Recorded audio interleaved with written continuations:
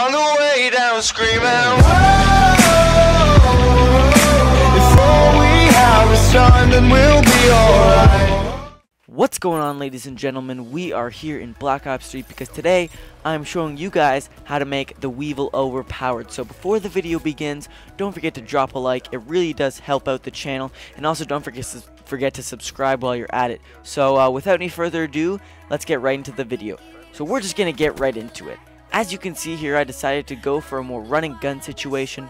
For the four attachments, I have grip, extended mags, rapid fire, and long barrel.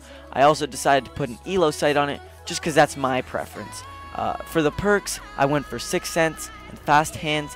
There's no perk 3 because I put a sight on it. I feel like perk 3 is the more useless of the 3 perk slots, but if you prefer to have a third perk, then by all means take off the sight and run either Tactical Mask or Dead Silence. Now, the reasoning behind these attachments is, like I said in, I believe, my Kuda uh, class setup uh, is to make a gun overpowered, you want to find the best qualities in a gun and improve on them as opposed, as opposed to making it an all-around good gun. Now I put grip on it because I feel like grip is mandatory on basically every single gun. It's gonna help. It's gonna help you stay on target and help you win uh, those long-range gunfights.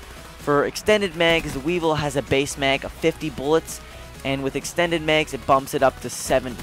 I find this really useful because I like to run and gun, like I said, and with rapid fire attachment, uh, it really it gives you those extra bullets to clear out an entire hard point, uh, or like a domination flag, we'll say.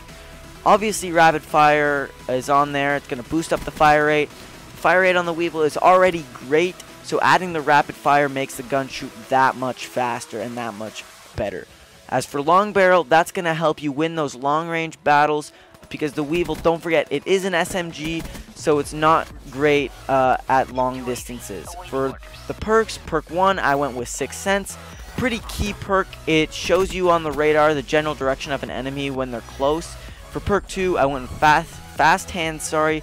Getting your gun up after sprinting is key for winning those gunfights. If you do opt for a third perk, I recommend either Tactical Mask or Dead Silence. A lot of people, if you're playing the OBJ, will be throwing tacticals in there, you know, stuns, concussions. So having Tactical Mask will really put you at an advantage when they think you're stunned. Dead Silence for uh, for hardcore game modes like free for all, people are going to be sound horning using their headphones or headset to really hear where you are. So Dead Silence, it's going to keep you uh, silent and no one's going to know where you are. So that's going to do it for the class setup. I hope you did enjoy. If you did, don't forget to leave a like and subscribe. It really does help the channel grow. Share it all over social media, and I will see you guys next time. Bye, guys. What?